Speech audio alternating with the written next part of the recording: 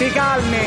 Lavoratore, cosa sta facendo la signorina in quel di Parigi? Francesco. Bravo!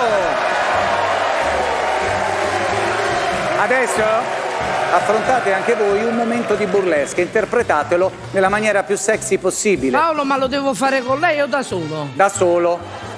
Sarà abituato a farlo da solo, no? Su! Musica!